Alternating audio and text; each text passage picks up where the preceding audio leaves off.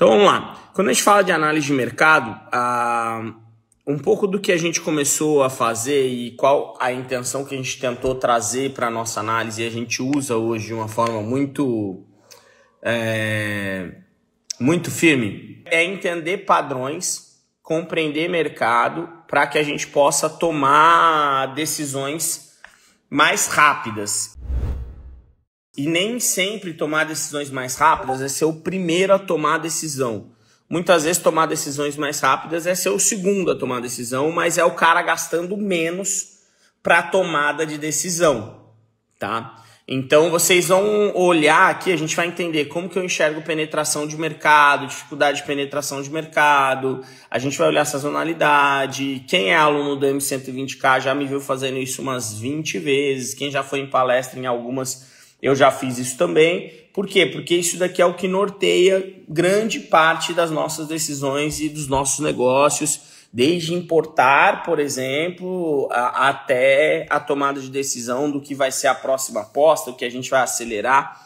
Lembrando que tudo que a gente vai fazer no negócio dos outros também deve ser feito no nosso negócio quando a gente olha para análise de mercado, tá? Trazendo já alguns pontos aqui, eu vou mostrar rapidinho no Meli no MELI a gente tem algumas limitações, as informações não são 100%, é, eu não tenho informação de quando é o período daquela informação, mas né, eu já começo a entender algumas coisas com relação à penetração de mercado. Então vamos lá.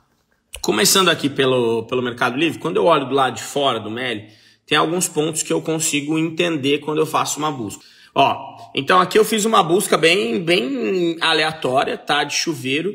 E o que, que eu busco entender quando eu realizo esse tipo de busca, tá? Aqui dentro, olhando pelo MELI. Eu busco entender qual é a dificuldade de penetração né, e qual a competitividade desse nicho. Lembrando né, que se você já tem o produto, eu não quero que você vá comprar outra coisa porque você viu que tem pouco resultado de anúncio ou não, tá? Eu quero que você comece trabalhando com o que você tem. Se você já vende, você vai potencializar o que você tem, tá bom? Agora, nichos com mais é, com mais quantidade de anúncios, sim, tendem a ser um pouco mais difícil de penetração, exceto quando a gente identifica padrões como esse, ó. Aqui eu estou em chuveiro. Então aqui ele me mostra que tem 27 mil resultados de busca aqui diretamente, né? Eu gosto sempre de fazer essa busca aqui.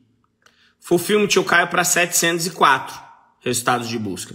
Quando eu vou até para outras buscas, quer ver? Ó, tem uma busca super interessante que a gente gosta de fazer. Aqui, ó, quer ver? É que isso aqui é um produto, por exemplo, super disputado em Ibitinga, que é uma cidade de cross-docking, dropshipping, etc. Ó, 66 mil resultados de busca. Quando eu olho para o Fulfillment, eu tenho duas páginas aqui dentro, só. Eu saio de 61 mil resultados para duas páginas. Que é quando a gente apoia, né? Que informalidade, mercados informais, a gente combate com formalidade.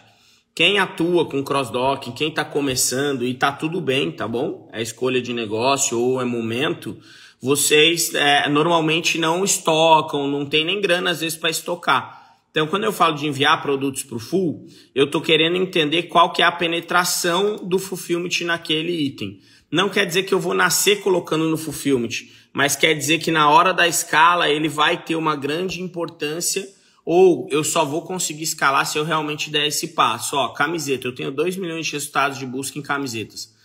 Quando eu busco por fulfillment, eu tenho 2.407 resultados. Isso que eu tô bem genérico, né? Eu nem tô tipo longa, é, gola, manga, é, tipo de camiseta, slim, tecido, nada disso, tá?